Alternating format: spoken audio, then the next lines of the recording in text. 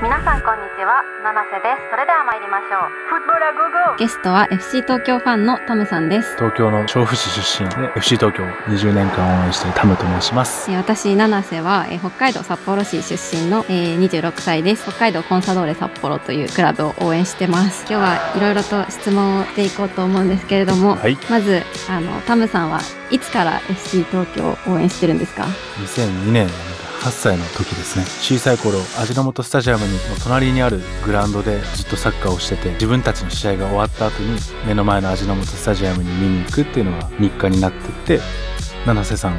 私の母親がコンサドーレのサポーターで小さい頃から多分幼稚園ぐらいの時からスタジアムに連れて行ってもらってました。試合の緊張感みたいのがすごく非日常に感じて、えースタジアムに行くのが大好きになりました。スタジアムにいて仲間と会う仲間と歌うっていうのは当たり前だった。